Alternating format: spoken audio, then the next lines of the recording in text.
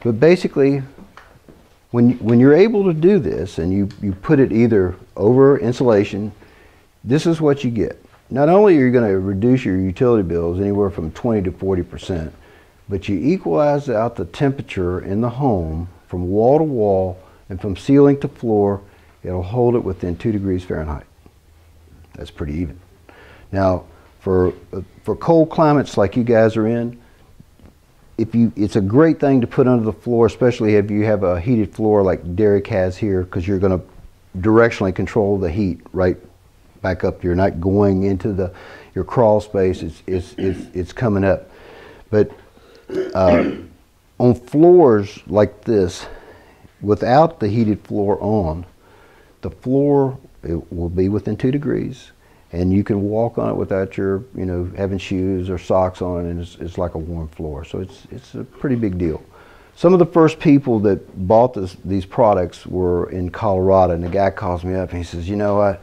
I have a granite floor. He says every morning when I go to make my coffee, you know, I have to put on my slippers, and he says the floor is like a piece of you know ice.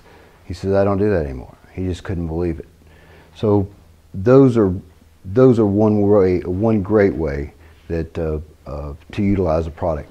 Now, as you see behind you here, and, uh, Derek has uh, done this nice little demonstration of, of, of, using this on the outside with your rain screen to show you how this can be put into new construction. And if you go to the other side, uh, he can show you, you can see how it could be put into you know, renovating buildings. And, and but the other side, the material always has to go to the outside because not only is this a tremendous reflector and insulation, but it's a perfect vapor barrier. Okay.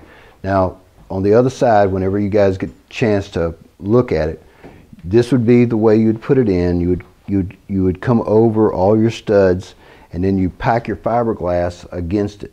And here here's the the, the great thing about that you know, as, you have your fiberglass or your cellulose or your rock wool or whatever you have in the ceiling, as your heat rises, you're trapping it, just like we did here in the fiberglass, and it's coming through. And when it hits that, it constantly re-radiates back into the, the room. 80% of your heat gain and loss is in your attic deck, okay? I mean, you can put it in the walls, it makes a big difference, you know, to that degree, but 80% of your heat gain and losses is in the attic, so if you can just put it in the attic, you control everything. Now, because it breathes, it's, it's not where we, we talked earlier about uh, uh, uh, having to have fresh air exchanges. It's not that tight, okay? It's not like spraying foam in, so it, it, it actually will breathe. And we've never really had any of the the mold or mildew or any of those issues that you know associated with foams or or anything like that. And I know that you know in talking with the one of the builders here today, uh, that's uh, that's a big issue up here. And if you don't you put a fresh air exchange in it, and if you don't use the fresh air exchange, it's still not going to do you any good.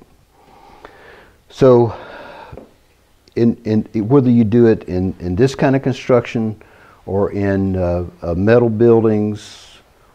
We actually have guys that, that do the same type of, of heating that Derek has on the floor here, but instead of using a, a mat, they use hot water and by, by uh, uh, encapsulating the, the building, these are garages that these guys build. Again, the, the temperature is, is that even, even on a 20 foot ceiling. I mean, I've gone all the way up on a forklift. I have a digital fluke thermometer. I've measured that temperature. It's still within two degrees.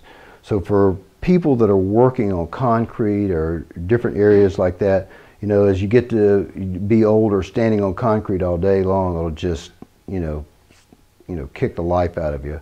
And to be able to lay any place on a floor or stand on it and not be cold, that's a great thing. It's a real great thing.